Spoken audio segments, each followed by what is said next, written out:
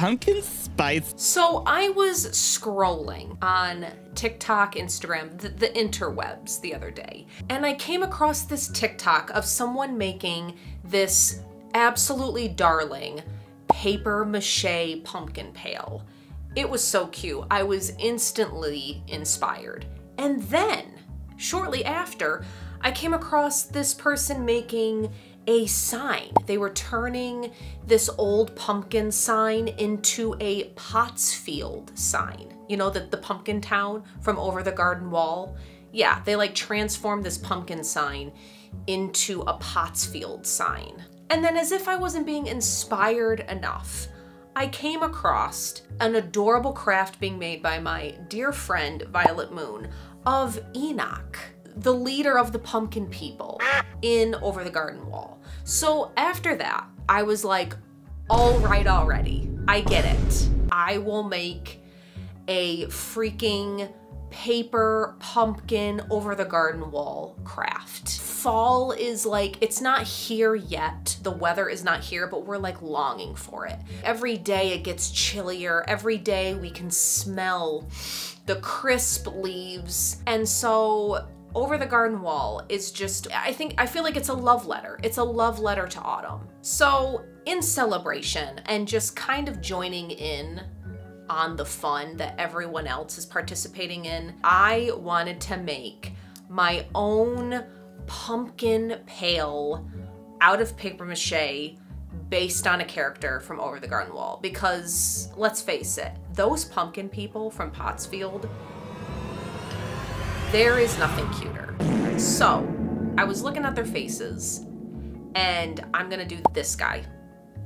The grimace, the little button nose, the cute little like pilgrim hat, and then he's got his little ruffle. Stop it right now. So how are we constructing this little guy? Well, the base of it is going to be a pumpkin pail. And once we have him, we're gonna plan the face. We're, we're gonna sketch out and plan his features, which it's pretty straightforward. He's kind of a bunch of circles. And then whatever features we want to be sunk in, or is it debossed?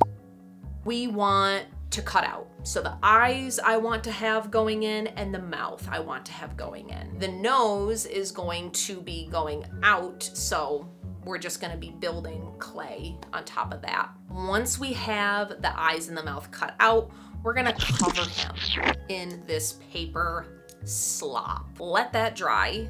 I'm really hoping that that's a quick process. Once he's dry, it's gonna be painting. We're gonna use earthy, yellow, orange, brown tones. After the paint is all good to go, we're gonna be doing the tissue behind the eyes and the mouth. Whenever you put a light in the in the bucket, it'll glow. You'll be able to see, you know, the, the light through the eyes and the mouth. Then we're doing that ruffle, that little collar thing made out of burlap. I'm not sure about doing the hat. We're gonna have to see where we go with that. We have our list. We know what we're doing. Let's get in the car and get our pumpkin.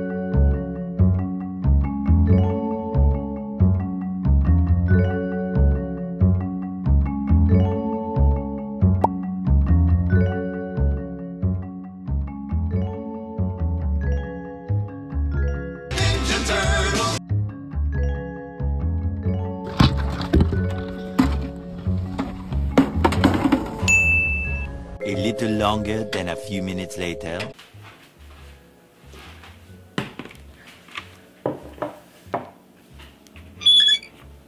Got the uh, spider web leggings on.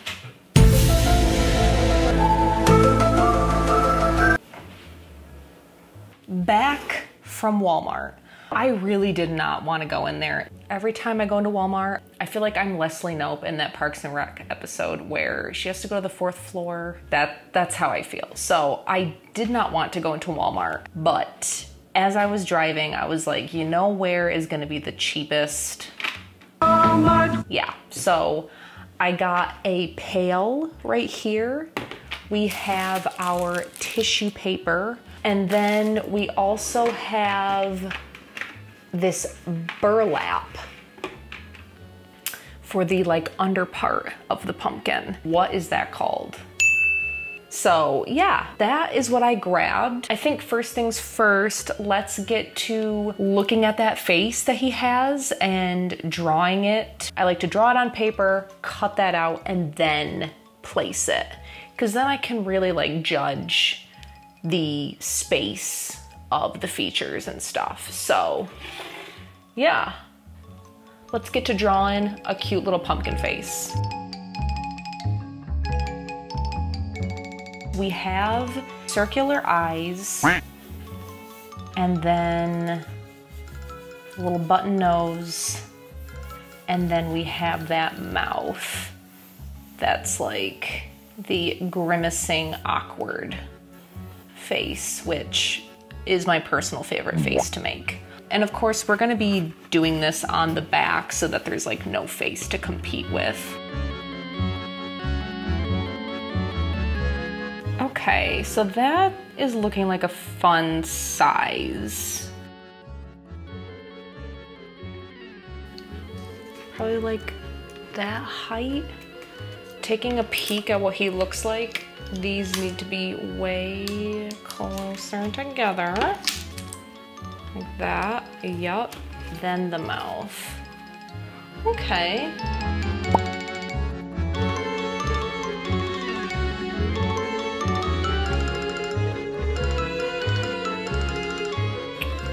Okay, and then I think the mouth would go like here. Thank you to everyone that recommended adhesives in my decorating video because I hate tape. and and like it's not really the tape's fault. It's just doing what it was meant to do, which is like tape paper together. So it's not meant to like hold a bunch of crap. So definitely my bad, but I don't like wasting with tape. Um, so all those suggestions were very helpful. Thank you. Yeah, yeah. So now let's get to tracing our lines on the pumpkin.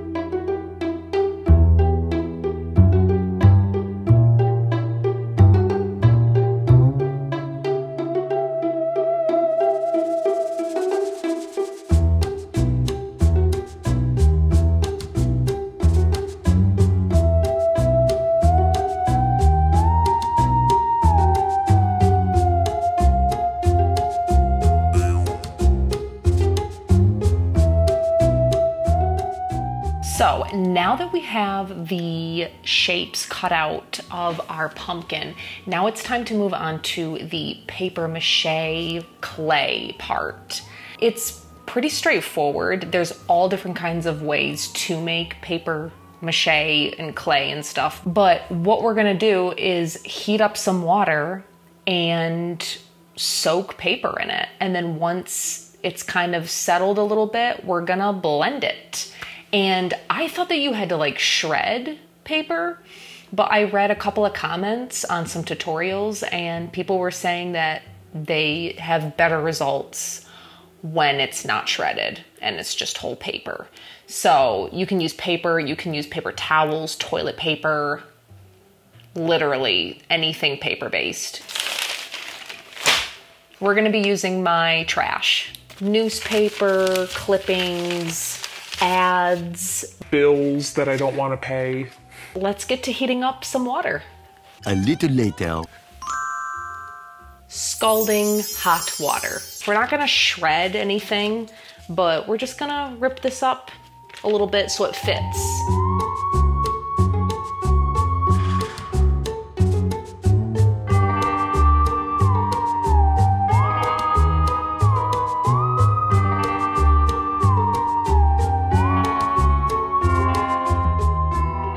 Okay, so it has made its way into like this slop.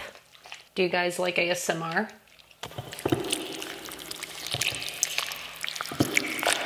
My head is in such pain and turmoil. So now that this is like pretty good, we're going to get out our food processor and we're gonna move it to here and chop it all up.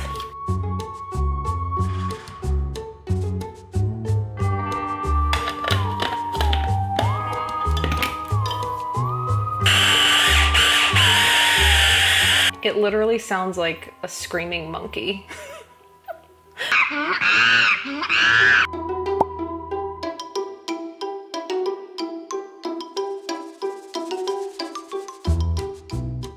Okay, so this is empty now, and I'm just gonna kind of repeat. I'm gonna put more in here, blend it up, and then wring it out in here.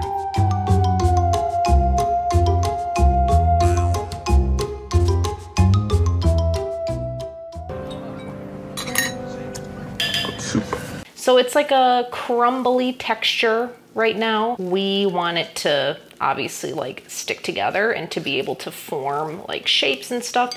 I'm gonna grab the glue and just kind of start mixing this in.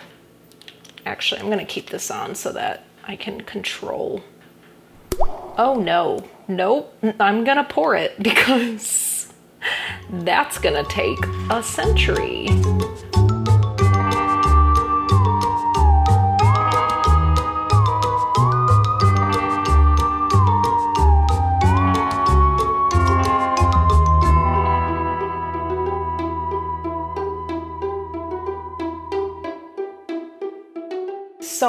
Move this to the side. Let's go get the pumpkin and then we're gonna do a layer of glue on him.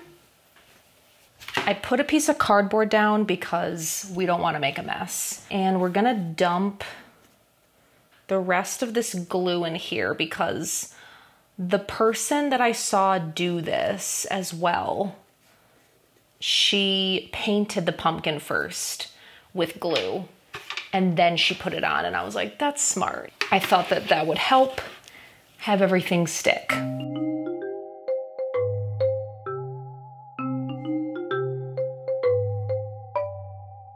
Without further ado, let's start putting this paper on the pumpkin.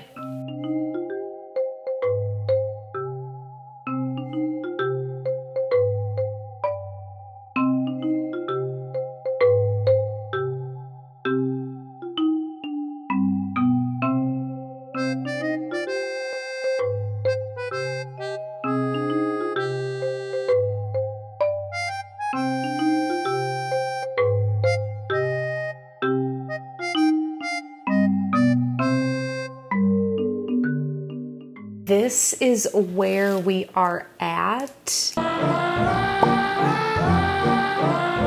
Paper mache was, you know, somewhat difficult. I think I needed way more glue than I had, but that is okay.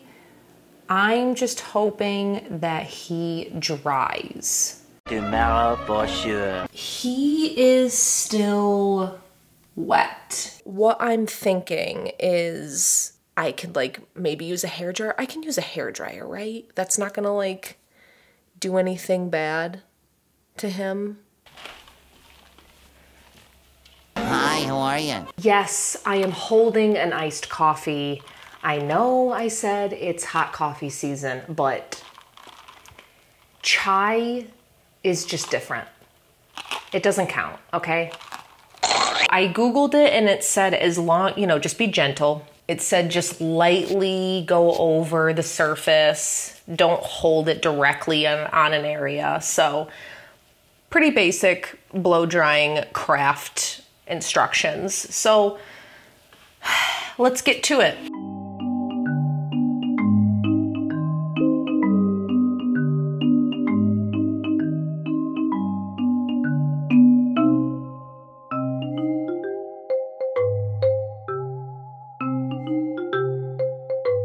Guys, I could only blow dry it for so long, so instead I put it on top of our cat's uh, tower here, and I have the fan going.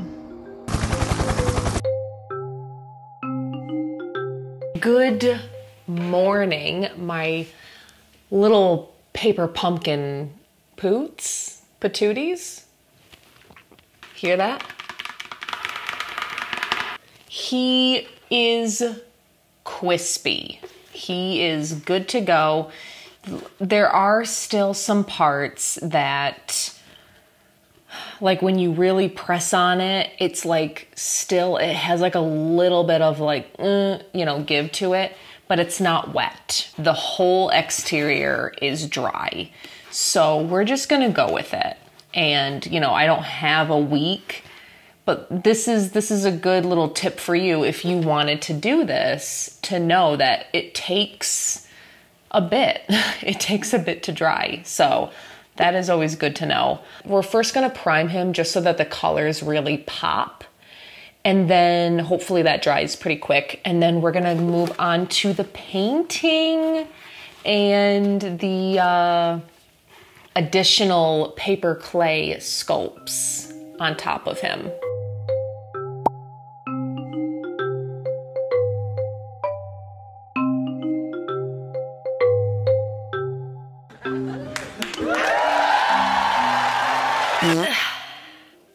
Okay, so the long awaited moment is here. He is dry. We have a couple of things we need to construct out of paper clay the lips and the nose. We got our water ugh, and paper clay. I have Nicholas Ribcage in here because he was tired of not being included in filming, but I feel like he's in an awkward spot. Maybe I should move him way over here so that if he does fall, it's not gonna be a big deal. You better not fall over. Anyway, we're gonna start making those those lips. And I'm gonna just kind of dip my fingers in the water and just kind of work this clay. And I'm gonna try to keep it as thin as possible because we want it to dry we don't want to have to now wait an additional like day. We, we don't have the time.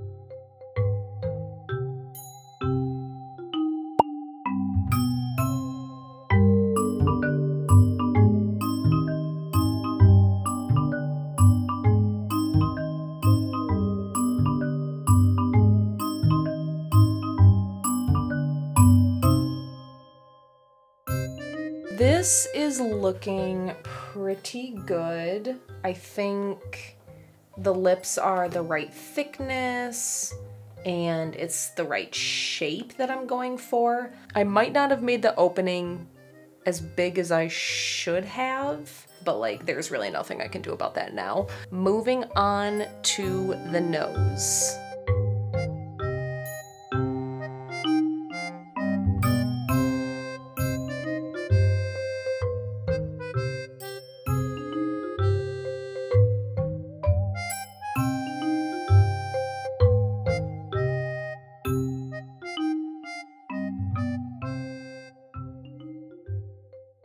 Eventually. It has been a few hours. We have smoothed and sculpted and sat him by a window in the sunshine next to my cat for several hours. And he is looking so good. We're gonna first paint, obviously, the pumpkin part, so his shell and then we're going to go in with those features.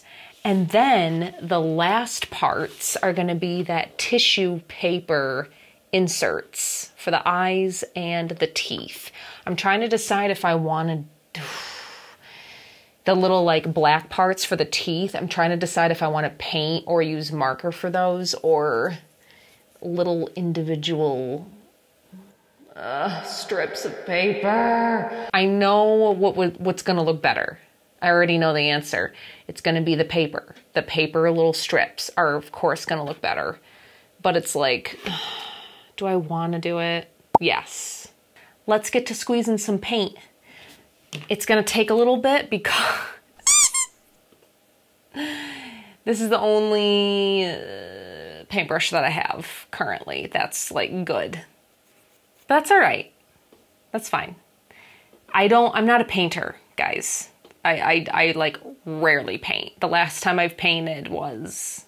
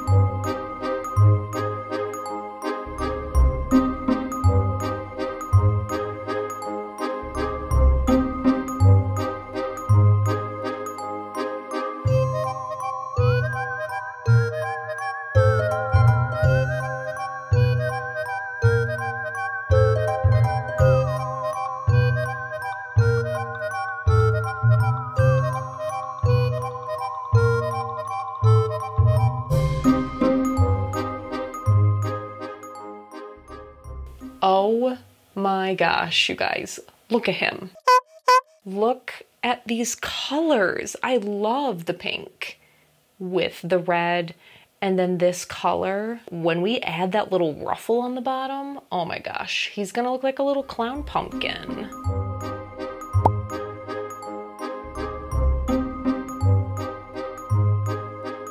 And we just wanna make sure that that black line is kind of going in a diagonal like way.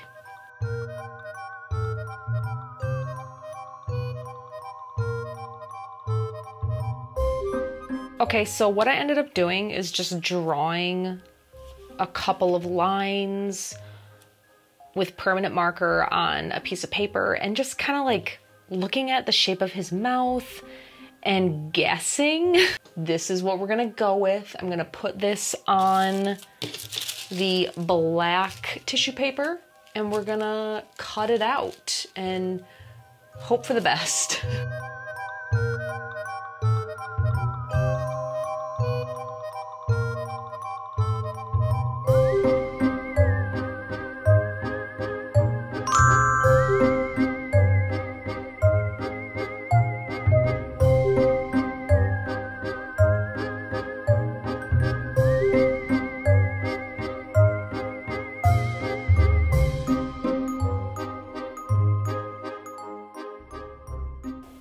god, look at it.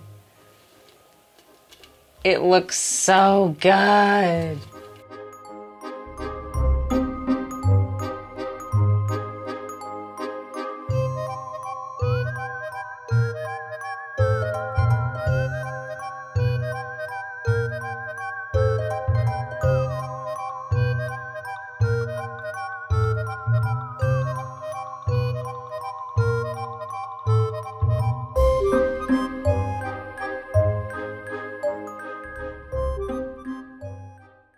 Okay, you guys, it is time to put the tissue paper behind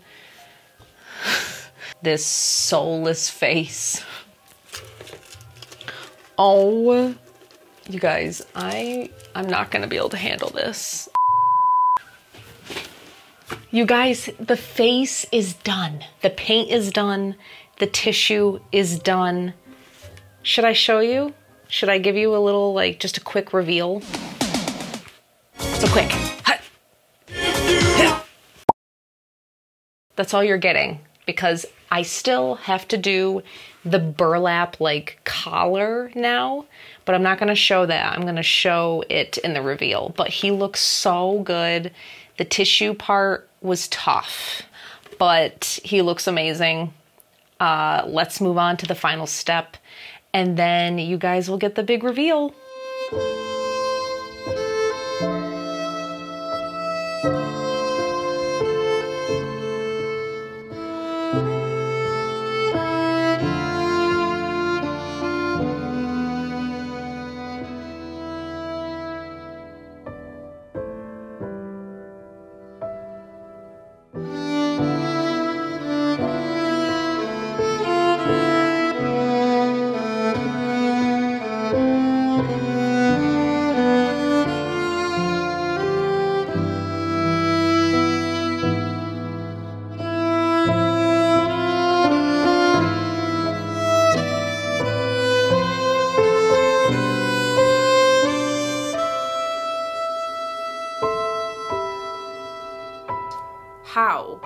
Is he so I The woman was too stunned to speak. he turned out so much better. So much better than I anticipated.